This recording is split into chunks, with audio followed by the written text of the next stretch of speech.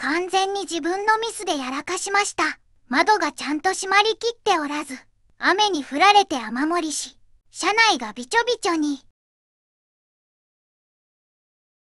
S660 の場合、車内から見て窓が上がりきっているように見えても、実際には少し隙間が残っていることがあります。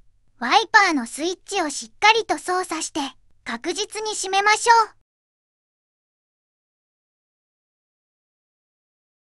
あと、屋根を取り付けるときはちゃんとウェザーストリップが機能するようにしておきましょう。この写真のように、端っこを挟んでしまっている状態だと排水がうまくいかなくなるので注意です。この写真の状態が正しい状態です。もしかし、パワーウィンドウにオート機能をつけてくれればこんなことにならないのに、と思わなくもない。なお、フロアカーペットマットは取り外して干しました。残念ながらその下の内装にまで浸水していたので、一日送風で暖かい空気を足元に送り込みながら乾かしました。なんとか乾きました。